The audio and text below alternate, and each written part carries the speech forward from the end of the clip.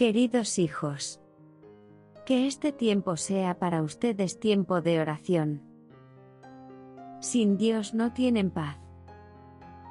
Por eso, hijitos, oren por la paz en sus corazones y en sus familias, para que Jesús pueda nacer en ustedes, y les dé su amor y su bendición. El mundo está en guerra porque los corazones están llenos de odio y de envidia. Hijitos, se ve en los ojos inquietud porque no han permitido a Jesús que nazca en sus vidas. Búsquenlo. Oren y Él se dará a ustedes en el niño que es alegría y paz. Yo estoy con ustedes y oro por ustedes. Gracias por haber respondido a mi llamado.